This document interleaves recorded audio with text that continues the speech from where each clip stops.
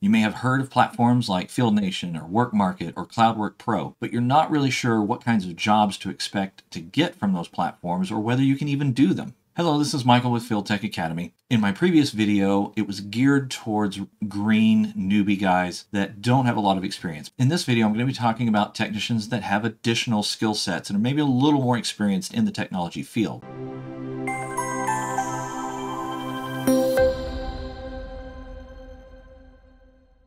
My previous video, I talked about the four main categories that an entry-level tech can do, which is computer hardware, as well as point-of-sale computer hardware, doing site surveys for future installs, doing deinstallation tickets, which are awesome, get to tear stuff up, and then finally, helper and assist tickets, where you're helping another technician that has experience. If you're someone who has had experience with low voltage cabling or network hardware, then you can kind of fall into another category. There are a lot of network hardware jobs that you can get on these platforms and in the IT contracting industry. The network hardware category requires a little bit more skill set and a few more tools, but still it's a pretty good entry level spot. The biggest challenge for network hardware is recognizing what the pieces of equipment are, you know, what a switch is, what a firewall is, what a Cradlepoint is. Sometimes with network hardware, you have to physically mount a rack on the wall. Some of those things can take some higher level tools. Number one, it's going to be physically mounting hardware in a rack. All that that's really going to require is putting the rack ears on a piece of equipment, physically putting it in the rack, cabling it in the back, according to the instructions that you're given by your tech support. So you'll need to be able to understand when they say, hey, you know, we need to have you connect this port on the switch to this port on the router. You need to be able to recognize what those devices are. They're going to tell you to hook up to the internet circuit. That means you need to be able to identify is it a cable modem? Is it a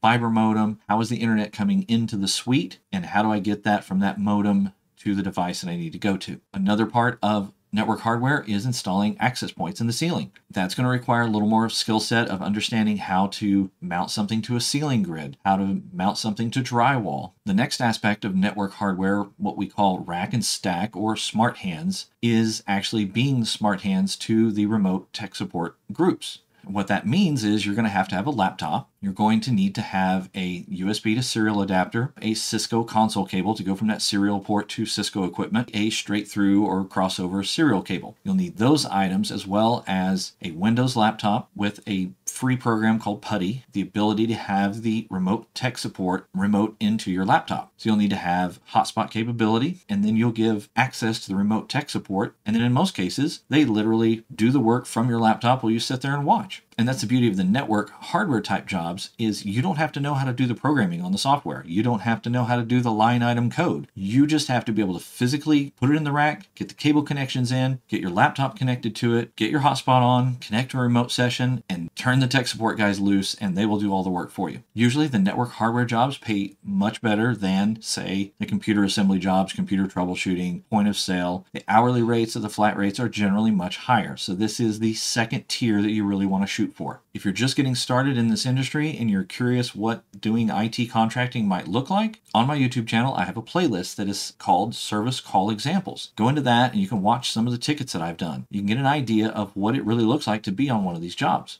Hopefully, this gives you some confidence to get out there and start bidding on jobs and taking them and getting out there and making some money in this field. If you got value today from what I shared, please smash that like button and subscribe to my YouTube channel so that I can continue to grow and provide material like this. As always, let's get you out in the field making money. I'll see you in the next video.